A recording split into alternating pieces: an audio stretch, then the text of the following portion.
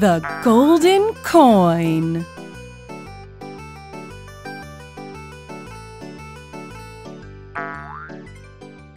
Sam went to the market. His dad gave him a few coins to buy food. There were also people selling cloth and jewels.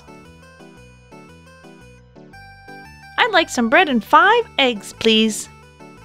That will be eight coins, young man.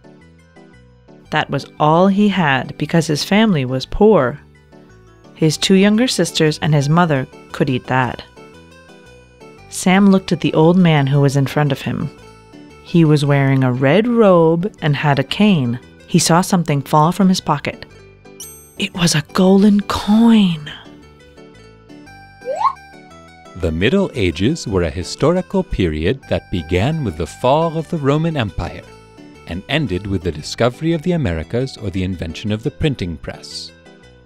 Medieval cities were characterized by having a castle, big walls, and fortresses.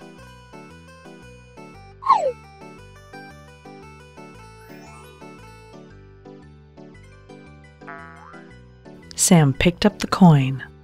He thought of all the things he could buy with it. When he sees him, the butcher asks, Would you like a bit of meat? A chicken, maybe? Sam didn't know what to say. He looked at the people selling blankets. His mother needed a blanket. Was that the right thing to do, though? Something was telling him no. In medieval markets, townspeople could buy and trade food, grains, spices, fabrics, jewels, and much more. Peasants sold goods from the fields and animals. There were also activities like music, theater, and painting.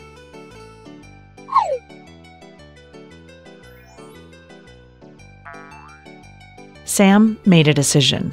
He ran up to the old man and called to him. Excuse me, sir. You dropped this coin. Thank you. You did the right thing. Can I ask you for a favor? I have to bring this letter to the palace, but I'm very old. Very old and very tired. Could you take it? You mustn't open it. Sam nodded yes and took the letter. To get to the palace, he'd have to cross the forest. Walls were constructions made of stone to protect cities and castles. They were also used to separate territories or to make borders. They had watchtowers, which were built to watch out for any enemies trying to climb over the walls.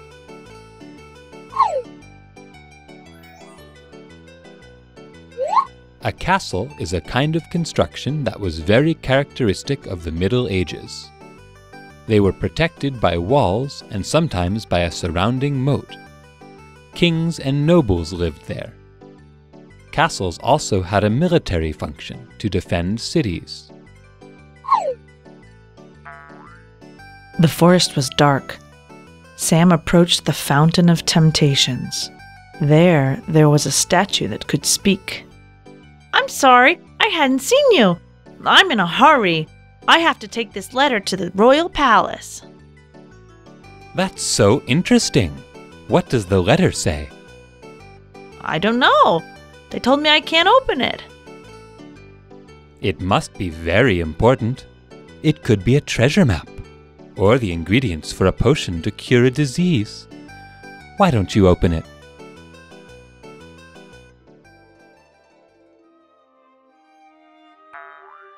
What if the statue was right? The letter could be the solution to problems.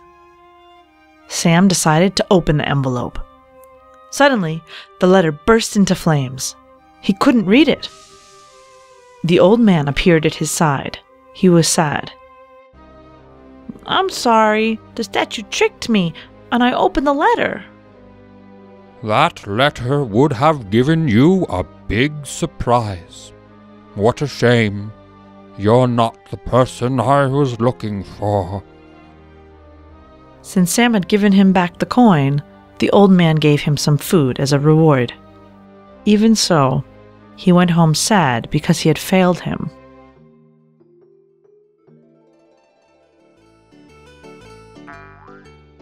Sam looks at the letter and decides not to open it. He'd given the old man his word. He continued along his path until he reached the royal palace. He went to see the king. Welcome, Sam. I believe you have a message for me. Yes, Your Majesty. The old man told me it was very important. The king took the letter from Sam. He was very pleased because Sam had kept his promise not to open the envelope. Sam, I am an old king and have no children. I have been searching for someone good, good and honest like you. You are that person. I hereby name you my heir. You will be the new king.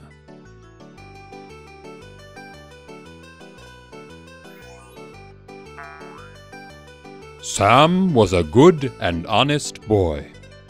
He demonstrated it by giving the old man back the coin and by delivering the letter to the king in a closed envelope, just like he promised.